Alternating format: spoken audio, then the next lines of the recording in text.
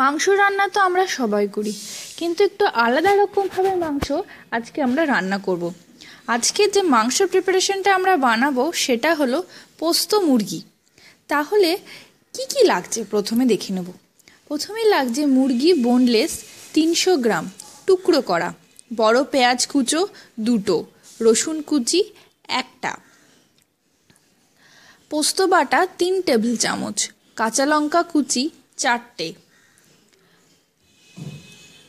লঙ্কার গুঁড়ো হাফ চা চামচ, নুন, স্বাদ মতো, সাদা তেল, তিন চার টেবিল চামচ।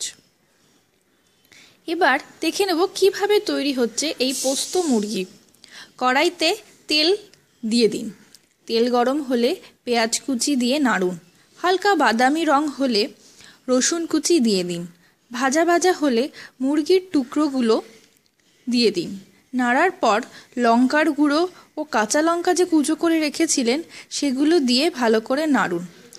কষা হলে পরে নুন ও জল দিয়ে ঢেকে দিন। এবার মুরগি সেদ্ধ হয়ে এলে তার মধ্যে পোস্ত বাটা দিয়ে কিছুক্ষণ কষে নিন। এরপরেই নামিয়ে নিন গরম গরম আপনার পোস্ত মুরগি। ভাতের সঙ্গে এটি পরিবেশন করুন, দারুণ লাগবে।